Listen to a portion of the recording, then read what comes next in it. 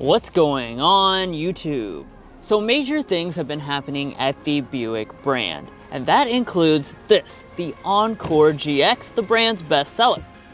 And we spent the past week with this bolder and more stylish offering to really put it to the test.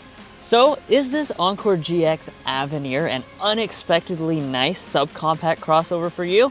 Well, let's go ahead and find out.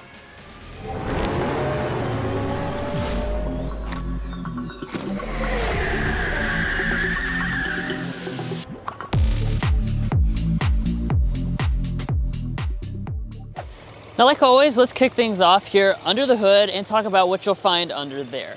So for the 2024 Encore GX, you have a 1.3 liter turbocharged three cylinder engine on most of the trim levels of this model. It's gonna be making 155 horsepower, 174 pound-feet of torque.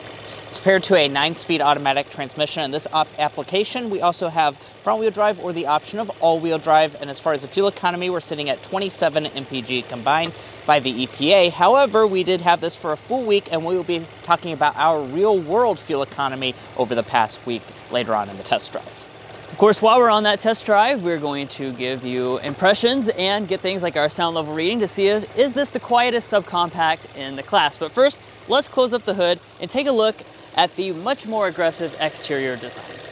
So like I was saying, Buick has embarked on a much bolder styling direction, and this Encore GX is one of the first models to get this new design. It's inspired by the Wildcat concept that you saw a little while ago, and as you can see, totally new look. We have an updated fascia through here. We also have new lighting, which I'll talk about in just a second. But in terms of your overall looks, this is the new Avenir trim, which is the new top model. That's gonna give you some additional um, kind of pizzazz. So you have a kind of chrome mesh that's gonna run through here, and then you've got the chrome surrounds all through there. You also have an updated Buick logo with the Fang design. Now the lighting though is the boldest thing that's different. As you can see, we now have separated housings. So up here at the top is our LED turn signal indicator and daytime running light.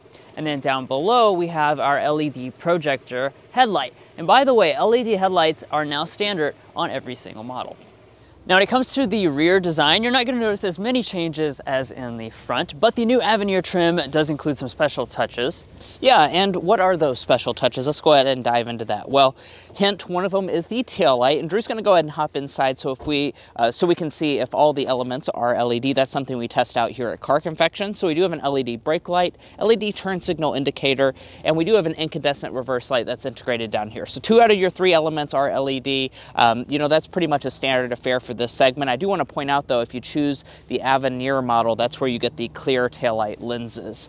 We do have our updated Buick branding back here, Buick spelled out across the back. And as far as this lower diffuser area, we do have all of this finished in body color for the Avenir to give you that more premium look. We're also going to have faux exposed exhaust outlets on both sides, although they're not real exhaust outlets. Now moving on to our wheel options, this is another place you'll know this is the Avenir because we have the loaded 19-inch alloy wheels. This is the largest wheel in the lineup, and as you can see, nice kind of satin silver finish, which goes really well with the chrome that you have in the front.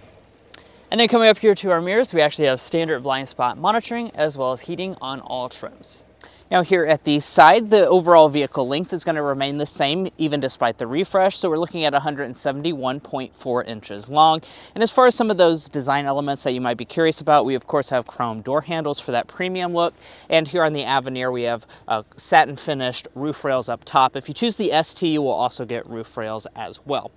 Now, one of the other things that I'm very impressed with that Buick is offering on this vehicle is actually all three out of your four active safety features as standard equipment on all trim levels.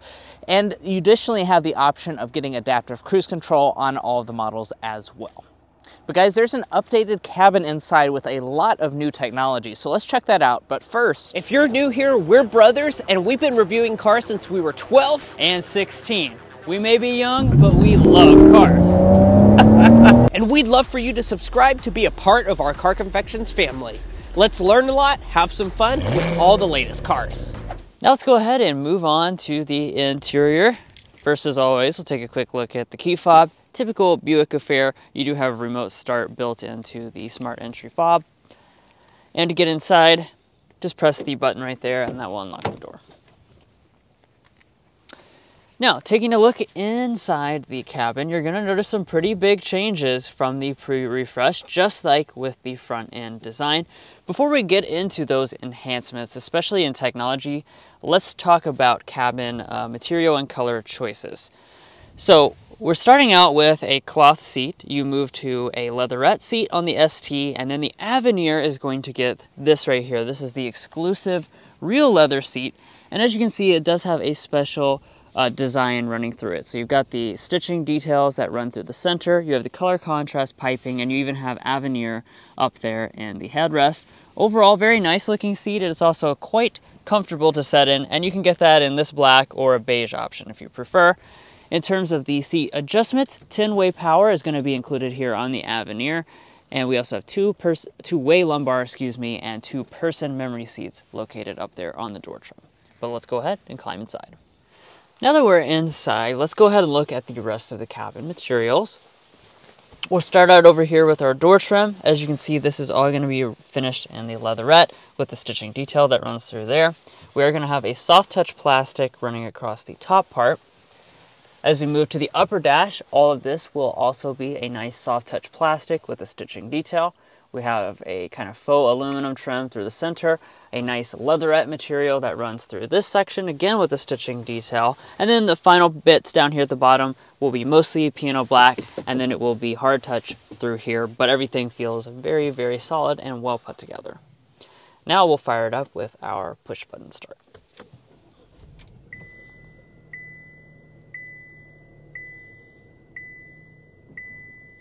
And let's go ahead and get into the first tech upgrade for this new model right from the start.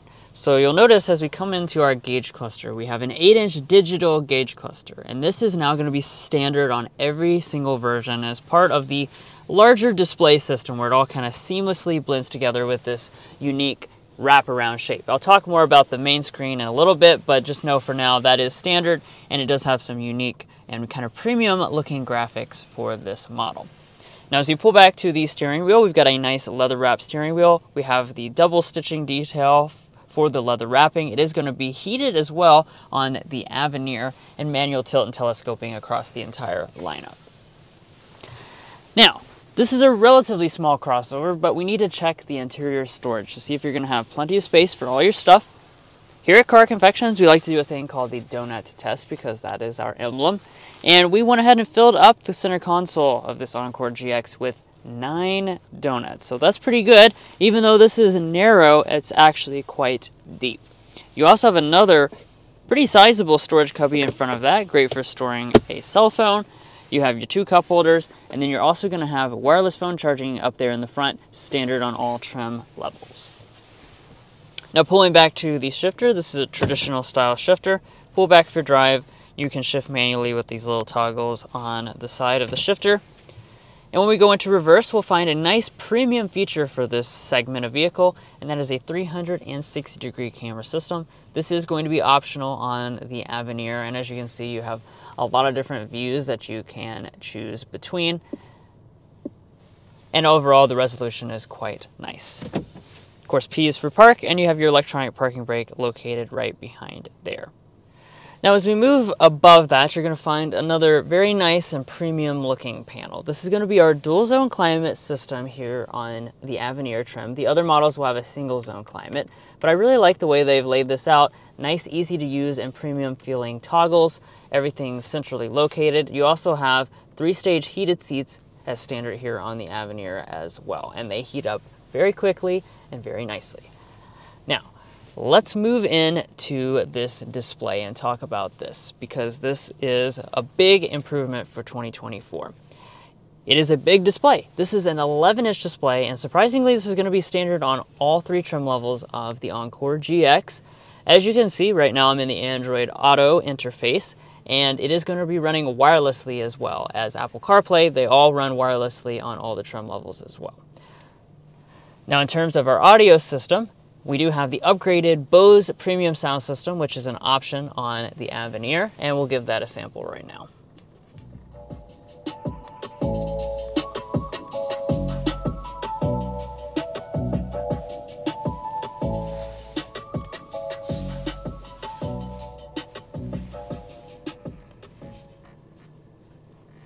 Overall, this is a good sounding sound system, really fills up the cabin well.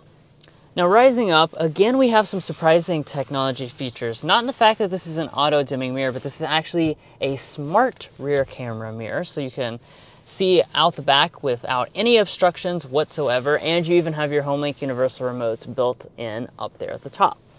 Now one thing we actually don't have on this tester, but you can get on all the Encore GXs is a panoramic sunroof. You don't usually find that in this class and it is available as an option to you. Now for a vehicle in this segment, you would expect it to not have a lot of space, and I'm happy to tell you that once you get back here, you'll realize it actually is pretty darn nice. Now, as far as those space figures, let's go ahead and talk about that first. Uh, we're sitting at about 36 inches of legroom, about 38 inches of headroom, so one of the things I really want to point out is that if you're picking between this uh, Encore GX and an Envista, you're going to have a lot more headroom in this version because, of course, the roof is a lot taller and not as sloped off. So just something to consider if you're a taller person and going to have people in the back seat very frequently. Now, as far as other things, I do want to point out that my feet can easily slide up underneath the seat. There is tons of room, so no matter how big your feet are, they're going to slide up under there. And as far as our knee space is concerned, of course, I did bring my own ruler, and we're looking at about six inches of space between my knees and the uh, driving position of Drew, who's five foot eight. I'm five foot nine for reference. Now, as far as the features, we do not have vents on any version of the Encore GX. However, we do have quite a few features. Uh, we actually have a full household style outlet, which I'm very surprised to see uh, on this model as well as two USB ports for charging things up. We also have a center armrest that folds down to give you two cup holders inside. I want to point out, um, you'll especially notice that on a cold day like today, no heated rear seats are offered on this Encore GX. And turning to your door trim, it's going to be uh, mostly hard touch. You're not going to have the soft touch from the front, uh, but we do have a leatherette through all the middle and on the armrest portion, plus a bottle storage down in the bottom. Now walking up to the tailgate and cargo area, I do want to point out that you have a hands-free power tailgate on the Avenir version of this vehicle. It will also even display a Buick emblem here on the ground so you know where to kick. I'm going to go ahead and try it and see if it works. As you can see, it does work quite well. Now, of course, you can't see the uh, illuminated emblem unless it's nighttime. Now, as far as the uh, space is concerned back here, once again, a pretty impressive area for this model, 23 and a half cubic feet behind the second row seats. If we fold those seats down, we're going to be looking at about 50 cubic feet as a maximum cargo capacity, which for this segment of vehicle is a very good figure. It is going to be more spacious than the Buick Envista, as you might expect. And I do want to go ahead and give you some of those uh, measures because I brought my tape measure here. So from the rear of the seats with them fully upright and in position to the into the cargo area, we're looking at about 32 inches of cargo length. And as far as the cargo width, we are looking at 40 inches wide. Now, I am going to go ahead and fold the seats down. They do fold 40 or 60-40 split, but there are not any handles in the cargo area, so I'm going to have to go do it from the second row.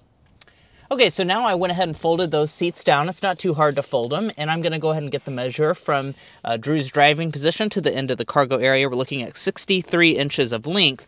However, that's not the maximum for this vehicle. You'll actually notice that the passenger seat is folded completely flat, and that's because this Encore GX actually has the functionality that you can fold the passenger seat all the way down to allow for longer objects to fit in.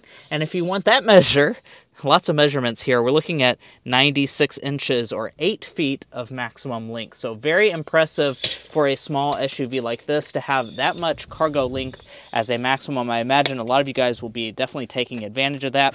The cargo floor can be adjusted for different um, needs and you also have a spare tire integrated under there.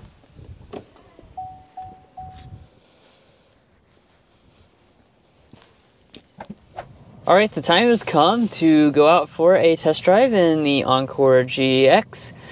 As always, we're going to cover these topics. And the first thing we're going to do is start off with a hard acceleration.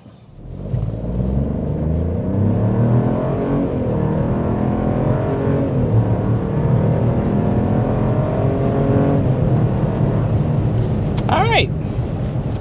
There's 60 miles an hour in the refreshed Encore GX.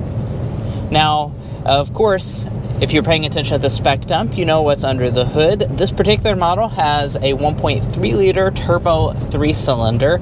Um, and you might hear three cylinder and go, ooh, it's really going to be weak and uh, un- under powerful and all that. But actually, it's pretty darn good. So 155 horsepower, 174 pound feet of torque. And really the thing I want to point out about that is that torque figure. 174 pound feet of torque is very good for this segment, and it's certainly good enough to really ensure that you get that pushback in your seat feeling when you accelerate. Right, that's definitely a good measure for this segment of vehicle. And if you choose the base trim, I do want to point out that you get a uh, slightly lower displacement 1.2 liter turbocharged three cylinder engine. Um, that's going to be producing about 130 horsepower, so pretty good difference in power figures if you go for a uh, any trim except for the base model, as a matter of fact.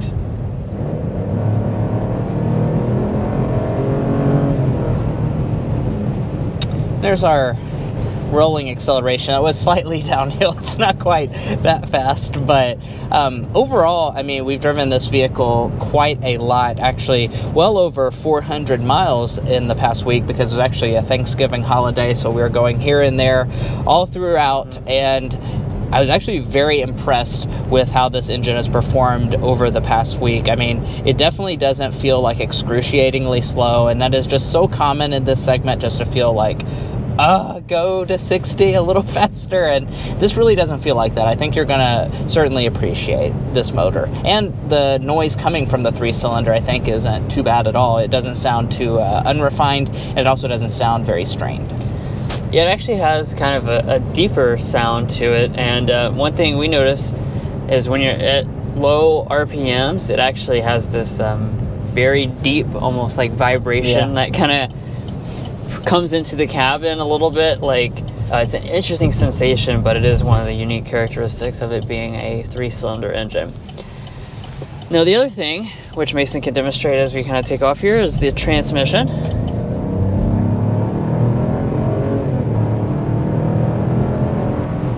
Most subcompact crossovers are going to come with a continuously variable transmission. Uh, we actually, on board with this model, though, have a 9 speed automatic transmission. Um, if you get front wheel drive, you will have a CVT, but if you have the all wheel drive system, which is optional across the lineup, that's going to give you the nine speed automatic transmission. I think this is the way to go. I don't know yeah. you think, Mason, but this is probably the way to go. Just going to give you that more traditional feel. This is a good responsive transmission as well. It shifts smoothly, doesn't seem confused. And as we mentioned earlier, it's very torque rich, so you actually don't have a lot of hunting around in, um, for gears and stuff like that. And you know, we're on a little bit of a twisty road here, and if, while it's not the focus of the Encore GX, I do want to talk a little bit about the dynamics. Um, one of the things that I've been uh, pretty impressed by this week after driving it for a long time is actually the steering. The steering has a pretty heavy feel to it for a vehicle in this segment. You know, it's not a BMW or anything, but it actually is very responsive and you can have a good sense of where the wheels are placed, which is rare in this segment of vehicle. Um, the body roll is going to be pretty much average, but overall, the driving dynamics I feel like are pretty solid for this segment. Yeah, it's a good ride and handling mixture. You know, if you've ever rode in a old Buick, you know it's very floaty.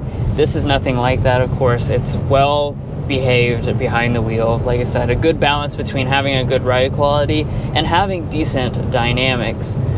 Now, speaking a little bit about the ride quality, we're on a pretty rough patch of road. And we're going over some um, spots where they've changed the pavement out, and it really handles this nicely. This is actually platform mates with the Chevy Trailblazer, which is a yeah. vehicle we got to test out last week, and I think there's pretty substantial and noticeable differences between that model and going for the Encore GX. They've definitely done a good job of making this a much more luxurious ride. Yeah, and I will also point out these seats are very comfortable over long road trips. Multi hour road trips, uh, these Avenir seats definitely held up very well.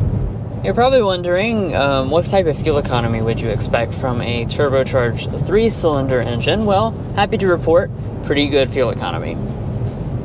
So if you choose the 1.2, that's going to be 30 combined. If you choose the 1.3, you're still going to be sitting at 30 combined. So power upgrade is definitely worth it. With all-wheel drive though, like we have, you're going to lose a 3 mpg combined. That's going to take you to 27 combined. Now, we have, like Mason said, gone on extensive road trip uh, this week and uh, we can tell you what we have gotten, and that is 30 miles per gallon even. That's our average. So as you can see, we're actually, even though this is the all-wheel drive model, setting above the EPA rating. I'm very happy to report that because a lot of times you'll see that something that's a really small displacement Yeah. can underperform because it's very strained, but in this case, it is not, and it is overachieving. Yeah, I haven't even filled it up on a tank of gas yet, um, despite all the driving this week, which I think is pretty impressive as well. The fuel capacity is uh, quite large on this model. And right now, our auto start stop system has kicked on and it went ahead and restarted. Overall, I've been pretty impressed with the auto start stop. You can definitely feel when it kicks on and off. Um, it's not quite smooth enough that you're not going to tell, but it's also uh, pretty smooth, so I don't think you'll really want to turn it off. And that's honestly how we've gotten as good a fuel economy as we have been getting in this Encore GX. Yeah, for sure. Um, I also think it's a good time for us to go ahead and talk about our slam dunk and airball after a week of driving this GX. We are going to say the slam dunk is the 2024 upgrades. They've done a good job of adding uh, features that I think a lot of people are going to really appreciate. Obviously, this is uh, substantially restyled, so you have a lot more stylish exterior. I think the biggest thing, though, is the technology that's massively upgraded and standard across the board. So even if you get that base model, which is available in like the low or mid twenty thousand dollar range, you're gonna get a lot of technology. Yeah. And as far as our airball is concerned, we haven't mentioned the price just yet, but this Encore GX is going to be more expensive than the new Buick Envista. So we sampled out the Envista in July of this year, and I really think that's the worst thing about the Encore GX is that vehicle is quite a bit cheaper than uh, this model as tested. Now, if you need all-wheel drive, you cannot get all-wheel drive on the Envista, so that's something to keep in mind. But fully loaded out, the Envista is sitting right around thirty thousand dollars, and fully loaded out for this model, you're sitting in the upper thirty thousand dollars. So you're sitting at about seven to eight thousand dollar price difference, and that's a lot of money, especially when you're talking about a vehicle that's thirty thousand dollars. So I think that's really the biggest con of this is the price compared to the Envista. Now, of course, you guys have been waiting for it. Let's check the sound level reading and see if this is the quietest subcompact at 55 miles per hour.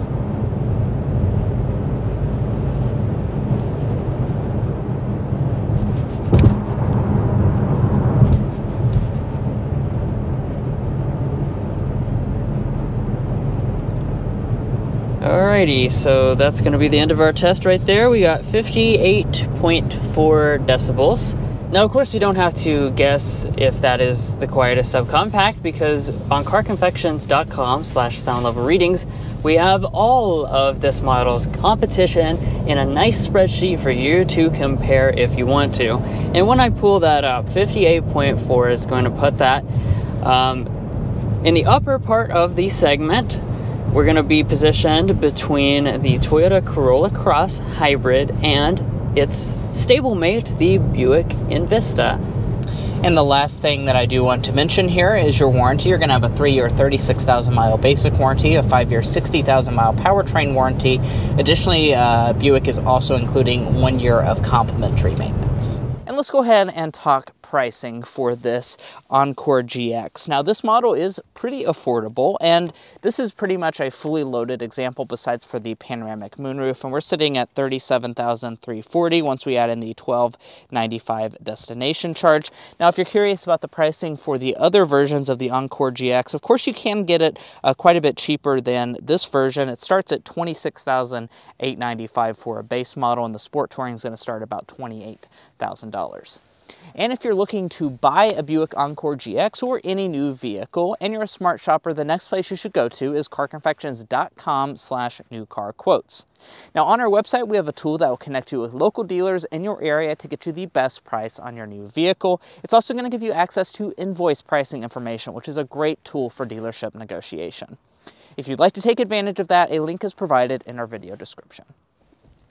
And guys, that's going to be it for our in-depth review of the 2024 Buick Encore GX. If you enjoyed watching this video or found it helpful, the next place you should go to is hit that subscribe button down below because by subscribing, you help get us vehicles like this where we can actually test them out for a full seven days and provide you those extensive tests of real world fuel economy, our personal opinions of the vehicles, all those things is possible by you hitting that subscribe button down below and giving us access to those vehicles for extensive times.